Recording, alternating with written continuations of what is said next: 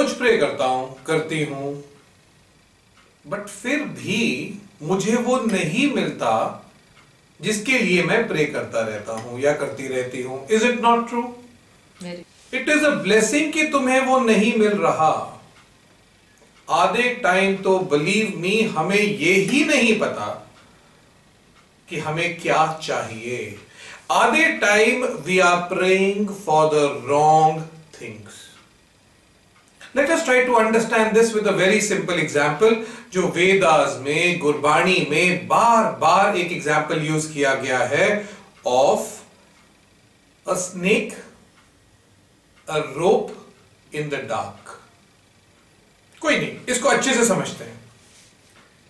एक आदमी चला जा रहा है, थोड़ा अंधेरे वाली जगह है, बहुत लिमिटेड सी लाइट है और जैसे वो चल के जा रहा है, रोड के बीच में एक सांप दिखाई देता है उसको। एक्चुअल सांप नहीं है है रस्सी बट अंधेरे की वजह से उसको लग रहा है कॉन्फिडेंस के साथ। अरे, रास्ते में सांप, वो क्या करता है? हाथ जोड़ता है, हे भगवान, मेरे रास्ते में सांप है, मुझे एक लाठी दे दो। मुझे लाठी दे दो, मैं इस सांप को मार के अपने आप को बचा के अपने रास्ते पे जा पाऊँ। इमेजिन भगवान अगर उसको लाठी दे दें। तब करके आए, उसके हाथ में एक लाठी प्रकट हो जाए, और फिर वो देखे, अरे, ये तो रस्सी थी। वो लाठी उसके किस काम आएगी? किसी भी काम नहीं आएगी। मांगना क्या था उस बंदे ने, और मांगा क्या? उसे तो मांगनी चाहिए थी लाइट, कि हे भगवान, मुझे लाइट दे, ताकि दिखाई दे रास्ते में वो क्या पड़ा है, सांप या रस्सी। यू अंडरस्टैंड आदि लाइफ हम इल्यूजन की तरह देखते हैं और अपने इल्यूजन्स के बेसिस पे मांगते चले जाते हैं। इमेजिन अगर वो हर चीज़ देने लग जाए कितनी लाठियाँ इकट्ठी हो जाएँगी हमारे पास और उन लाठियों को उठा उठा घूमते रहेंगे। They will only become a burden for us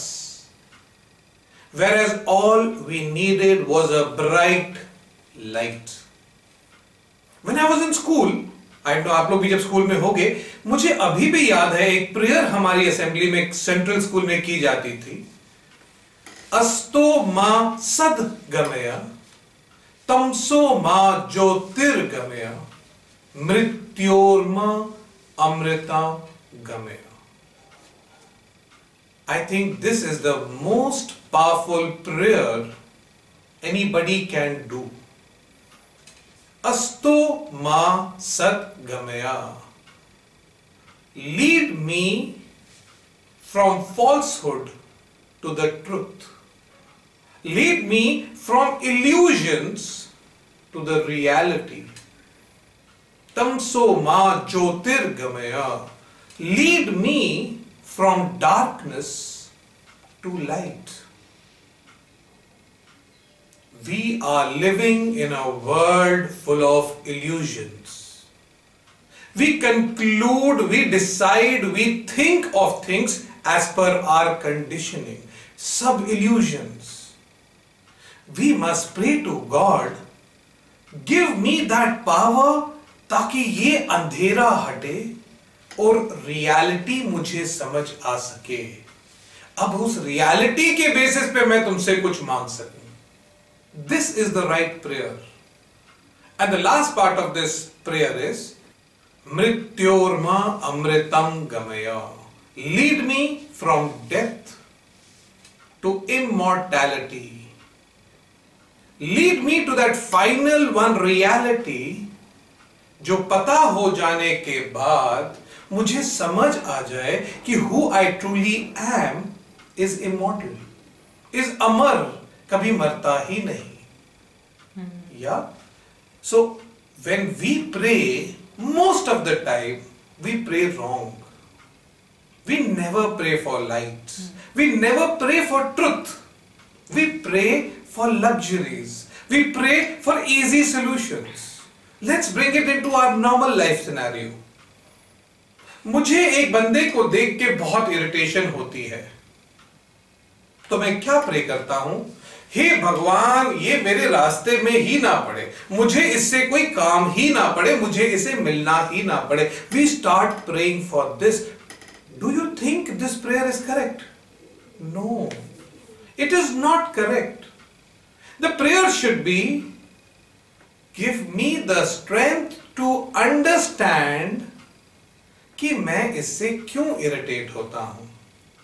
Give me the strength to overcome that and accept him as he is give me the strength to be at peace even उसकी कंपनी में when is doing all kind of those things this should be our prayer नहीं तो ये चला जाएगा, इसकी तरह तीन और आ जाएँगे जो आपको इरिटेट करेंगे।